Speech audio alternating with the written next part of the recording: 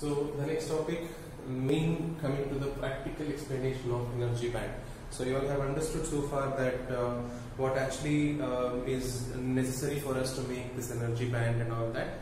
Uh, mainly to arrange the electrons into certain levels and that is the reason we are making the energy band that means we are arranging the electrons in certain way or classifying these electrons based on their energy levels and plot a graph okay plot a graph and that graph itself is nothing but a band energy theory. Clear? So it's not like uh, nature in god uh, god has decided okay this electron we'll call it as electron band energy theory and they start grouping them into the form of band and all that. No. The electrons are not in the form of a band in presence in the inside an electron crystal and all that. It's not there. We are arranging them so that we can classify the uh, materials based on their and band energy levels. Clear so now we'll learn it. How did we classify how did the person whoever invented it I, i'm not i don't know. And i don't really care. I'm very bad. Yeah. Okay? So uh, that whoever has invented it and what actually he did it okay? We'll do it right now. What actually he did. So we know that uh, uh, all elements contain molecules. Yes. All elements contain molecules. You know that already. Anything you take uh, any material wood uh, or uh, iron or anything you take it it contains molecules yes molecules if it contains obviously it will contain atoms i've written there molecules if it contains it contain atoms if it contains atoms, obviously it will contain electrons, protons, neutrons, etc. Yes, which will probably yes, of course, nucleus also. Yes. So all that will be present in everything. Every every material will be present. Then why some uh, some materials conduct electricity, even though there are uh, electrons are present, and some materials do not conduct electricity. Electrons are present, yes. Electrons are present in the, every material, but some materials it will conduct electricity that means electrons will move and conduct electricity. I told you about electric conduction. Electrons will move around and they will conduct electricity. But there are some other materials, for example wood, it does not conduct electricity. Electrons are present. Yes, electrons are present in them also. Why don't they conduct electricity? That is the question which comes to your mind. Why don't all the materials conduct electricity even though they contain electrons in them? Pause the video and think about it pause not me video okay okay fine so you think about it. I thought i mean you all thought about it i'm very sure. We're moving on to the topic what i'm doing here is the electrons present in the element molecule element or molecule have different energy levels. We have learned it just now in the just in this one. So there you found out that every in a molecule that is in a crystal, in a silicon crystal, which I told you as an example, electrons are present in different energy levels. Yes, in that silicon, yes, it is present. Now let me take an example of silicon again.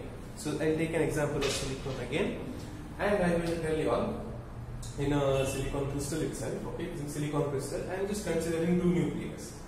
There are many nucleus present. It's a diamond structure. I'm repeating again and again. I don't know why uh, mainly because I don't know whether you are understanding or not. So that's why I'm repeating the sentences again. I can feel it, but I cannot stop it. I hope you understand my situation. I'll tell you. So there are two nucleus present in a, of silicon, and there are four free electrons of both of them, and there are many such uh, nucleus present also. I'm just taking these two in consideration so that we can understand it simply. So here what happens is the electrons in the outermost shell, four electrons in the outermost shell, I was just checking the video has it been paused or not. It has happened so many times, so that's what I'm doing. So now we know that this uh, electron sharing will take place. Electron sharing will take place, and uh, there is a covalent bonding between them. There is a covalent bonding between them, and also we know that the outermost shell electrons will be revolving. Okay, will be revolving, and uh, continuously this revolution will uh, go and attract this one. Okay, so these uh, not attack, it is attract or this will be this revolution will be replaced by this electron this revolution will be replaced by this electron okay like this like this the electron sharing happens in this way and this is a practical understanding for you all how the covalent bonding works that means the sharing of electrons happen in this pattern okay something like an infinity pattern uh, I better stop it stop doing it no? but imagine this is how the electrons are uh, moving around the nuclei and then hence they undergo bonding. Yeah, a covalent bonding takes place like this. So this uh, sharing of atoms will take place in this way and these all four free electrons are engaged in this particular movement. They are busy moving around the nucleus. That means they are busy revolving around the nuclei and maintaining the valency of that silicon crystal. That valency means free electrons present.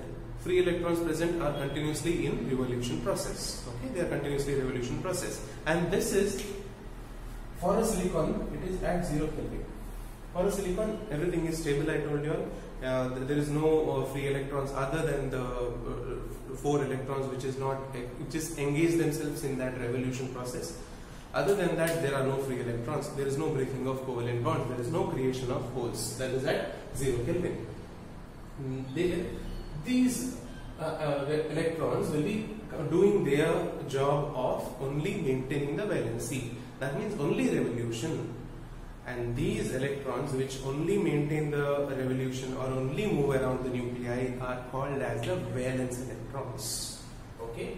These are the valence electrons. Valence electrons are just electrons which perform the duty of revolution, that is maintaining the valency. These will simply move around. They will not do anything other than that. Okay.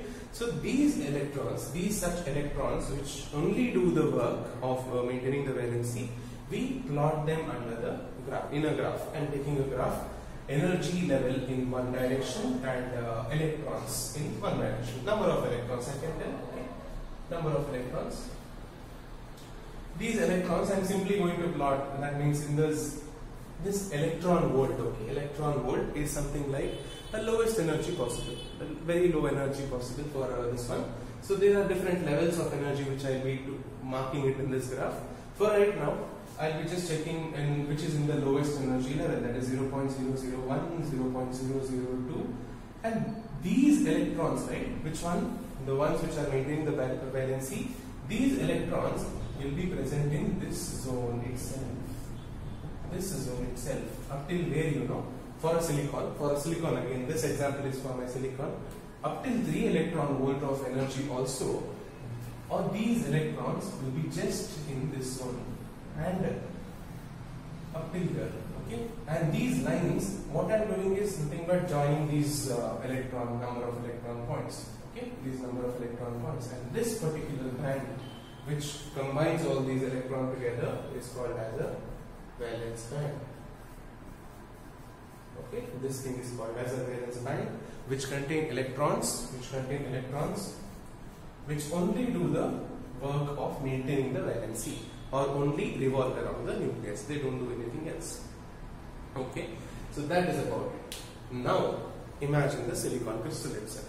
And yeah, before going to the silicon crystal, okay, now uh, in silicon crystal, uh, if I increase the temperature, this electron will stop revolving and jump out of it.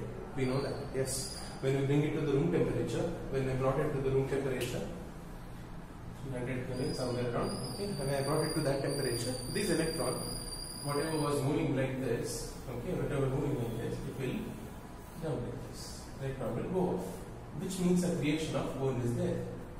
There is a creation of hole, breaking of bond. Bond is broken. So what happens? Electrons is free. If electrons are free, there is conduction of electricity. Holes are there. There is movement of electricity. That is electrical conduction, which I taught you earlier. Yes, that is what about it. That's how what happens in a silicon crystal. Now let us take an example for a wood, which is an insulator. You all know it already. No matter what happens, it will not conduct electricity. It will not free up the electrons. Imagine a wood molecule, two molecules. That means two atoms of wood is there. So in that, electrons no matter how much energy you supply, no matter how much temperature you supply, these electrons are there, no, which are revolving around them completely, just like that. They will not leave their job, leave their job of revolving around the nucleus. They will not leave the, they will not leave that bonding. They will just be there, just like uh, our old lazy politicians. Okay, uh, if anybody is there, please don't hit me. Uh, I support politicians, all type of political groups. I'm not against them uh, everyone is good. Yeah, right. Okay. So over here, what happens is uh, these bonds, you know, these uh, electrons which are uh, completely involved in the process of covalent bonding, uh, they will never leave their job no matter how much of energy you supply. That means all the electrons are present in the wood, their electrons present yes, and they will do only the work of maintaining the valency. They will not do anything, they will not break the bond. So there is no breaking of bond, hence there is no electrical conduction possible. Yes, and one more in a simple way, for an insulator, electrons present, I told you the example of wood, any insulator you take, rubber, electrons are present, all the electrons are involved in the process of maintaining the valency that is revolving around the nucleus. They will be in the valence band itself. They will not move above the valency band. Clear? They will all in, they will be only in the valency band. Okay? So that is about it. Mm, Slowly you are understanding things. It will be better when I explain it tomorrow. So what happens next is uh, in the silicon itself, when it's brought to room temperature, I told you all electrons will be gone and then the holes will be created. This electrons, when it is uh, when I apply the potential difference, that is, uh, if I apply temperature or potential difference, anything, electrons will come here and all that. So electrons, I apply energy that is uh, energy which is more than the normal energy, something like this. Like for an electron, I can tell it is about 7 eV. For silicon, silicon 7 eV of energy I supply. Something happened to the camera.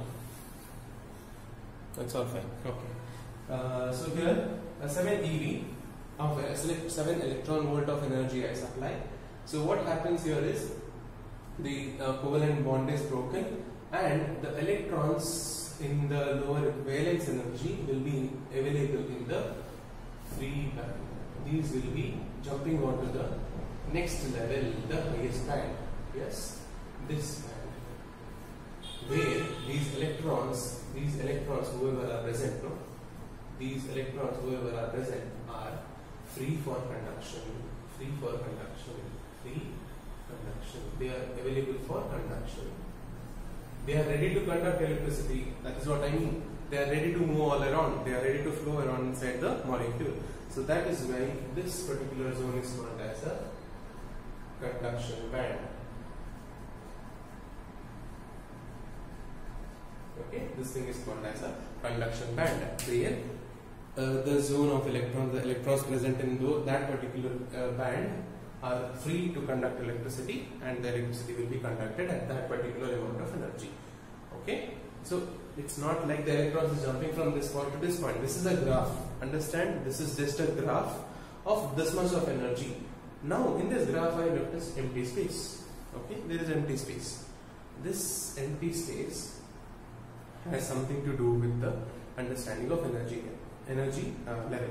So here, this empty space, there are no electrons present. No electrons. No electrons present. Okay, no electrons at all. In any material, if you take, if you if you supply for the this something like uh, uh, for a silicon, if I take five electron volt, no electrons will jump from one point to another point. Electrons will not come above the valency band. That is what I mean. Even if I supply more than uh, 3 eV, it will not supply, it will not, the electrons in the lower doing the work will not break their bonds. Once I supply so much of energy, then only the bond will be broken and the conduction takes place. Okay? That means the electrons are available for conduction. Then what is this middle gap? That is called as a forbidden gap. Then this, this person has just simply named it, okay? It's nothing like that, but we have to study it like that forbidden gap. You know the meaning of English uh, word forbidden? Uh, forbidden is simply nothing but we are not allowed to go there, which means electrons are not allowed to go there. That means no electrons are present at that particular zone, and that thing is also called as energy gap. Okay, in something you call it as energy gap, and it is indicated as Eg. Clear? A small letter E and a G. So this is how, what about it. In forbidden gap or an energy gap, there are no electrons present. And understanding the forbidden gap is a very is the most key for you to understand this energy theory. That is, for an uh, conductor, for a conductor, there is nothing called as a forbidden gap, which means, which means I don't have to supply any energy for a conductor to conduct electricity. Yes, I just have to apply potential difference. Yes, what that means, the electron, this thing is there, no, it's not present. That means Eg is equal to 0 for a conductor. For a conductor I am talking about, this thing is completely closed, very close to it.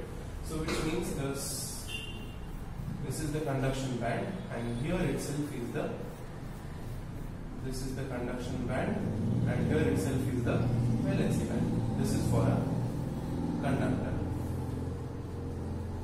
For a conductor. For an insulator, for an insulator, obviously I can tell easily saying that uh, for an insulator, what should I guess? What do I guess? I this, okay. I hope you will have noted it down. You can pause the video or reverse, I mean rewind the video and get it done. For an insulator, for an insulator, this is the valence band, this is the conduction band, and there is a huge gap of electricity, huge, huge, very huge electron, uh, the energy gap is there. That's the reason. No matter how much energy you supply, you your valence electrons will not be jumping to the conduction conduction band and uh, will not will not allow the current to pass through them. So that is why this energy gap is very high. That's why these are called as insulators. These are called as insulators. And what happens to the semiconductor? Simple words I will not even I will not draw that. You can have it in your book or notes book, anything. So just have a look in that. This is a conductor, uh, electron band, and this is nothing but the insulator where energy gap is too high. For a conductor, the energy gap is in for this one it is zero and this one is too high. In between those of that of the conductor and insulator, the energy gap is not too much, not too less, or not zero also. So there is a certain amount of energy gap, and that's what um, material. That's how the material becomes a semiconductor. Which means if I supply a certain amount of energy to that particular material, the valence electrons will jump into the conduction conduction band and they will start conducting electricity. But without supplying energy, they will not conduct electricity. Okay, that's what uh, makes the material as a semiconductor, and that's the thing what we'll be learning about in this full chapter. Yeah. So we have learned today about is the valence band, energy gap, and the conduction band. Rewind this video, recall everything, and check your book as well. And let me know if you have any doubts, uh, any silly doubts. Do not hesitate to clear it out. Okay. And my explanation, though it is boring or uh, maybe too many uh, words are being included, I want you all to make this full explanation into simple brief points. Okay, simple points, so that I know. Okay, you all have understood what I'm trying to tell. I just want you to put it into your own words, whatever I, I explain. I want you to put it into your own words and make it as a point list. And along with the diagrams if possible, like diagrams will look nice when you are writing. And uh, this will be helpful for your exams also. That same, this same notes you can just refer it once and uh, you'll understand the whole explanation. You need not uh, go through the full video again or something. Okay. So make a notes, notes of your own words. Please point wise, no paragraph. Okay. Yes. I'll see you all next week. Thank you.